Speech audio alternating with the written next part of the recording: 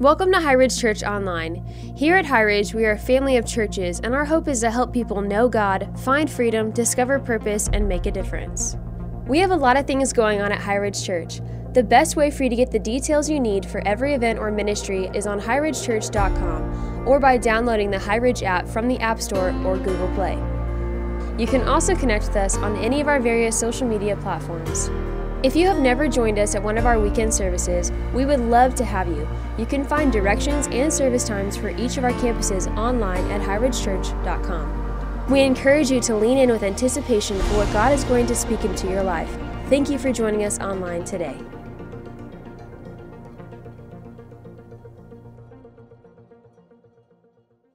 I want to share with you a couple things about mom and uh, I, I, think there's some, I want to interject some humor into some things today because I think we just, sometimes we just need a good laugh. So, the definition of a mom is this that they have photos in their wallet where there once was money.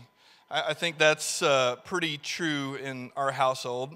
Um, sometimes, you know, some of us have a face that only a mom could love.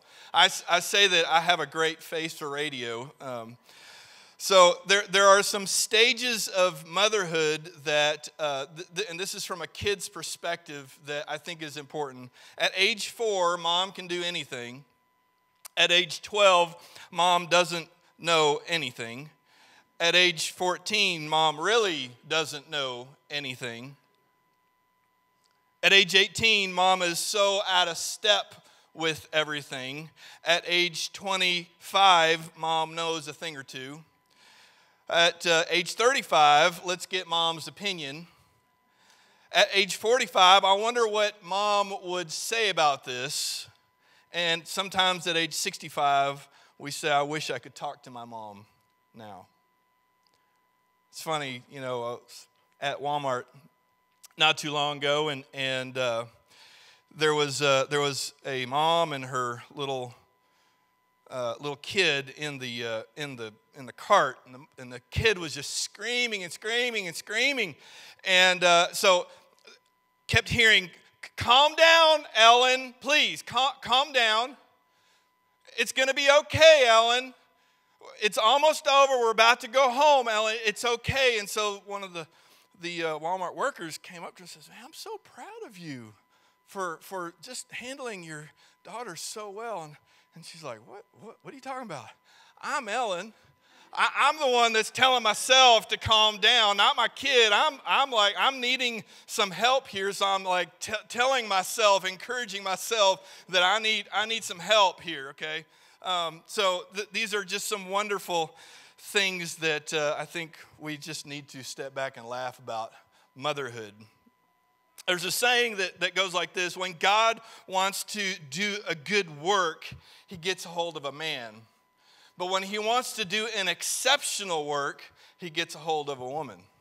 And I think that's true for many of the women, especially in this room and watching online. Let's be real though, mama ain't easy, ain't easy. Especially now, right? I think, that, I think the last two months have been a really a, a test of how much momming ain't easy.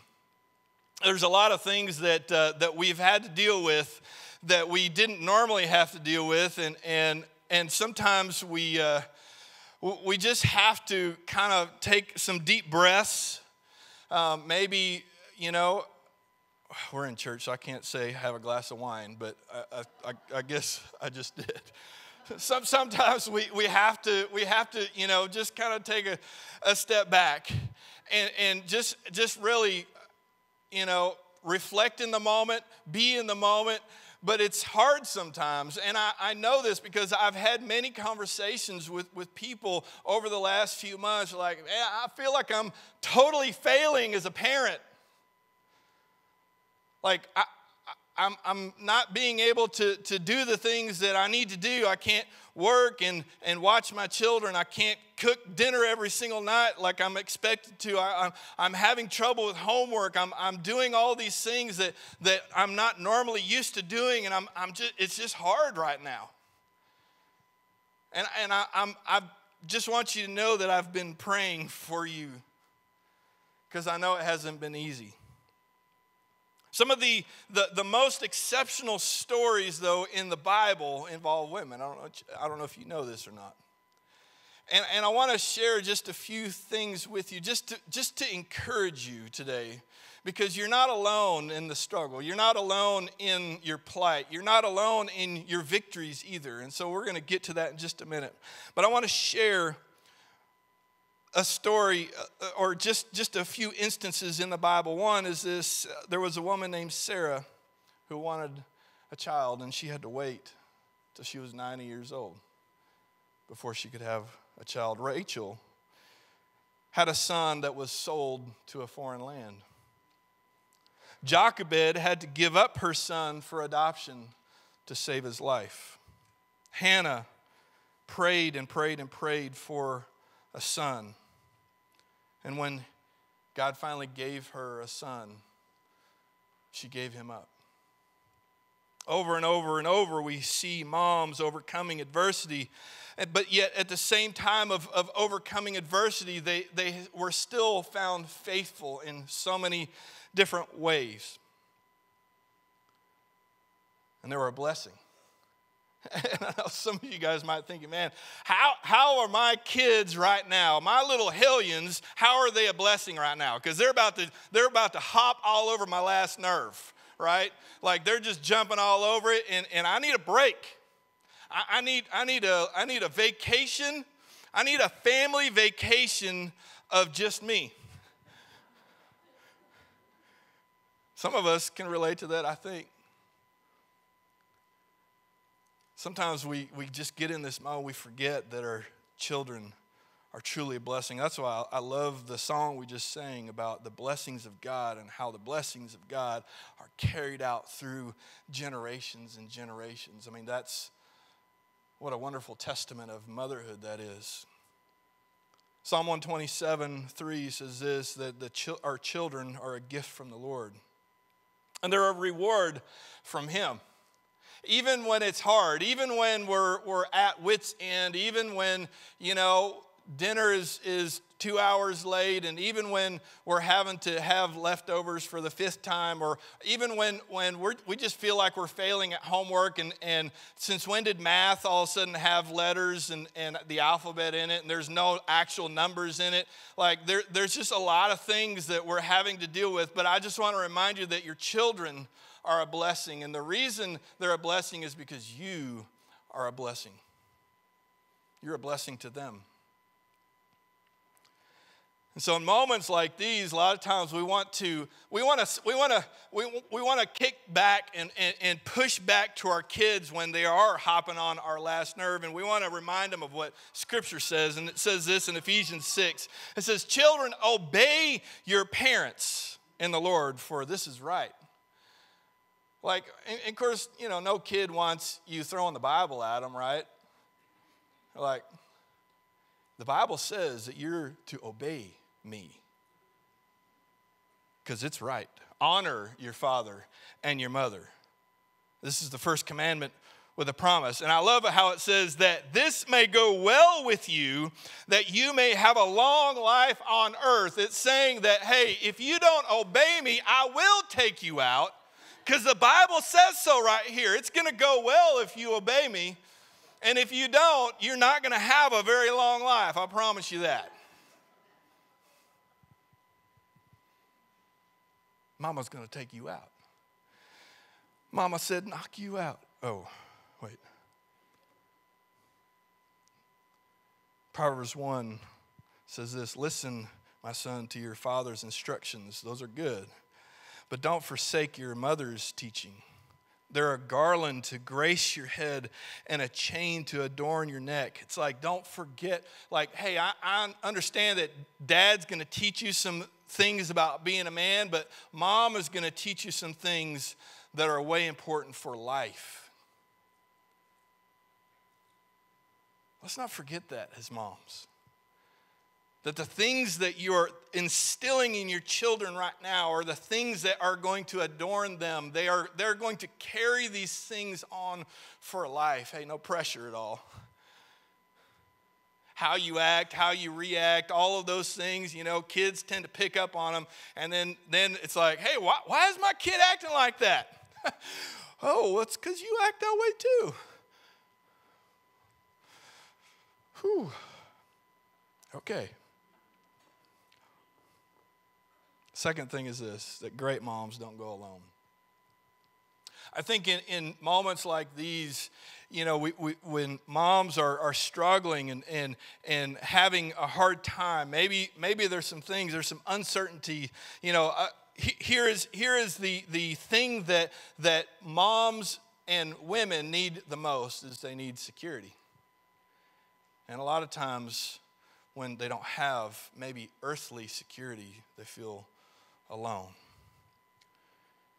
And sometimes as a parent, and I'm not singling out moms, but sometimes as a parent, parenting can be some of the loneliest things, situations that we'll ever face because a lot of the decisions that we have to make for life for our children, we got to stand alone on those decisions. And sometimes they're hard decisions that we have to make. And it's lonely being a leader. But I want to encourage you today that you're not alone. You are not alone. You see, it says this in Deuteronomy 31 Be strong and courageous. Don't be afraid or terrified because of them. I think it's funny it says because of them. We can say, Don't be afraid or terrified because of your children. like, hey, don't, don't be afraid because, you know, I know that sometimes your kids can be a little terror and, and, and uh, you know, you, you're, you, you, gotta need, you need some courage along the way. The Lord is with you. He's with you in the decisions that you make.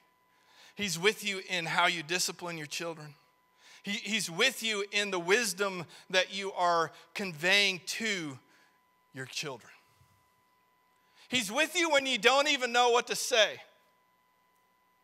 You see, a lot of times, myself included, I, I, have faced things with even my own children. Like, I don't know, I don't know what to say in this moment. I don't know how to handle this. But every time I seek the Lord and I say, Lord, what is it that I need to do today? He is faithful to speak into my life and to speak into the situation. And He wants to do the same for you if you just submit to Him and ask Him, hey, Lord, help me right now. I really, I really need some help. I'm at my rope's end right now. I don't know how, I don't know how to face what I'm facing right now with my children. And He's faithful. He will never leave you or forsake you. And what a comfort that is for all of us. That even as we face strange things that are going on in our world today, He's still with us. And we're not alone. Even when we feel that way, He is, Scripture says that He is closer than a brother. Man, those are promises that I want to I want to cling to when I'm feeling alone. And maybe if you're feeling alone today, maybe you just need to say, Lord, help me feel your presence. Help me see you in the moment. And watch and wait and see what he will do.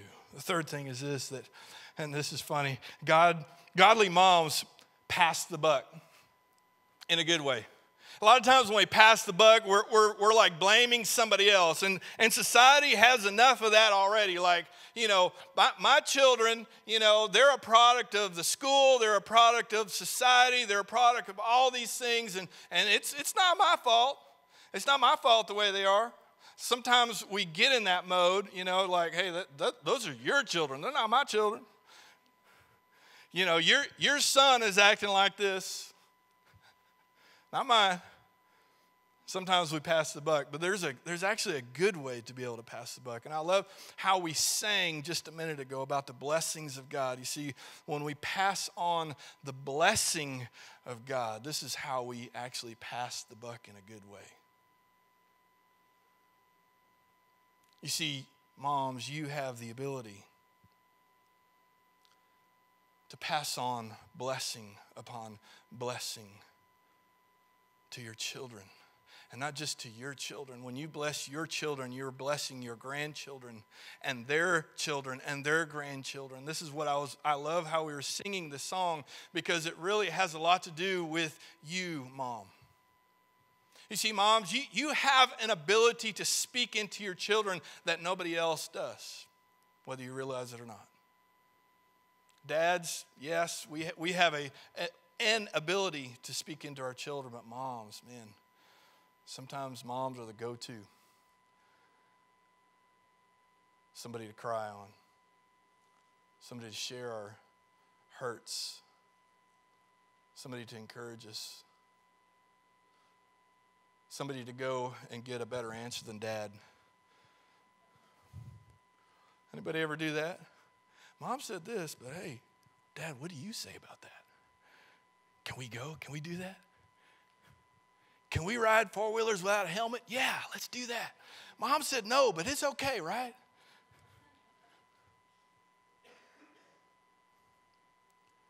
Passing the buck.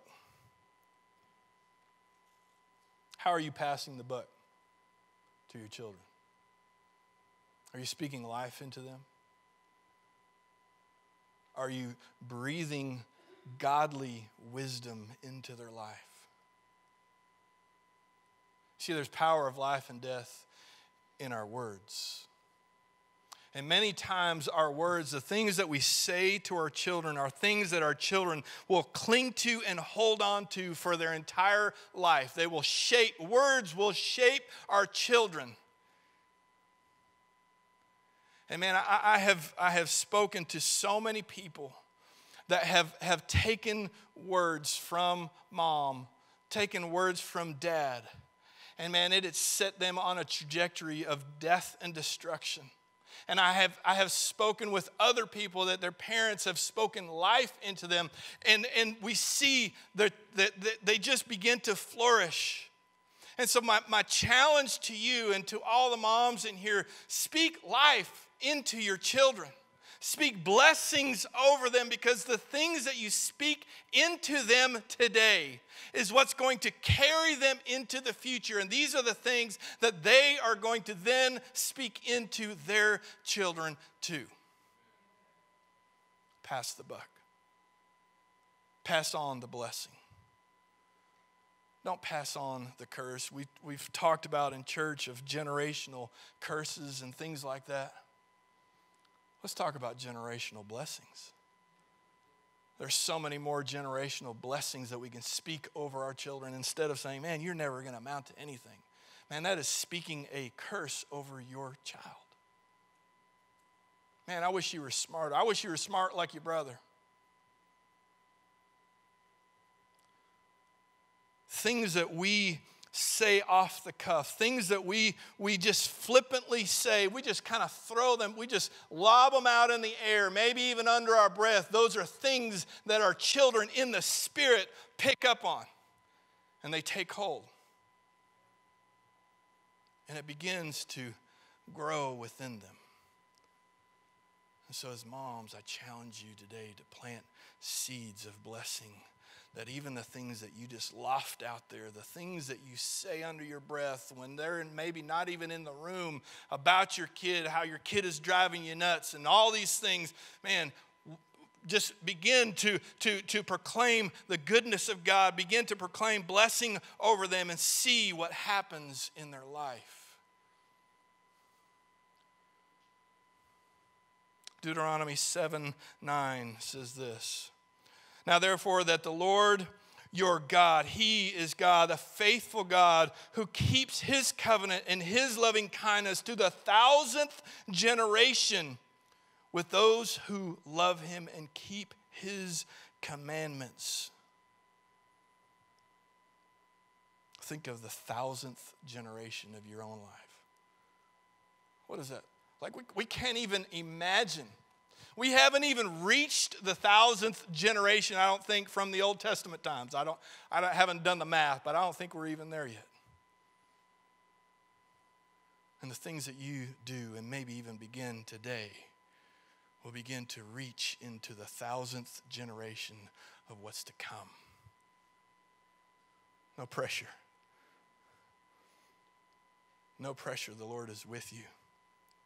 And He's going to give you what you need. He's going to give you, He's already, He's already given you blessings. he's already given you words. He's already given you wisdom. He's already given you strength. He's already giving you, given you every resource of heaven. So now pass that on to your children and see what God does. Sarah became the matriarch of the children of Israel after waiting so long to have a child. Rachel's son was Joseph who became a great ruler in Egypt and helped his family through a famine. Jochebed's son was Moses, who led the nation of Israel out of slavery into the promised land. Hannah, the son, Hannah's son Samuel, anointed the greatest king in the Bible, King David,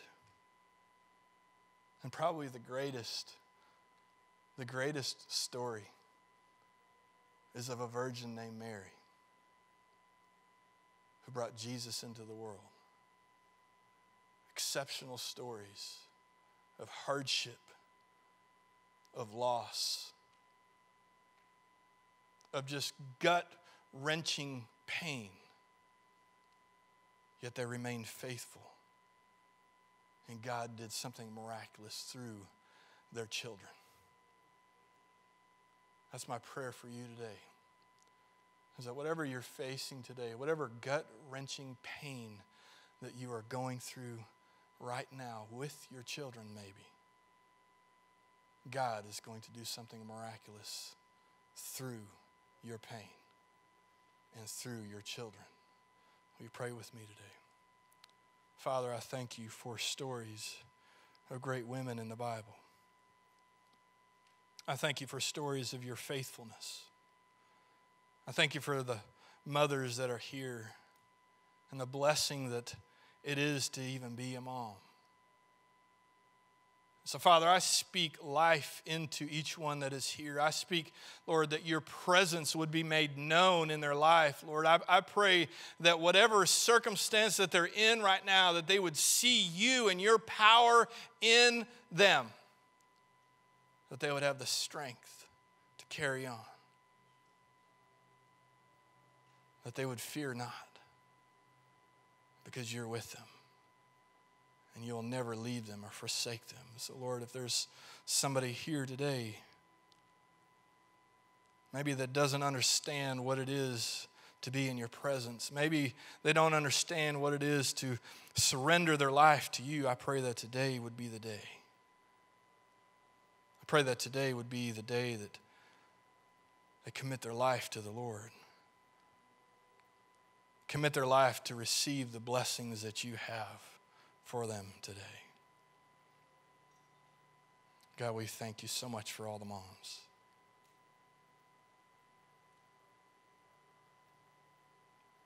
There's a special place in all of our hearts for mom. And we just thank you for the gift that you've given us. And so, Lord, we say we thank you in Jesus' name. Amen.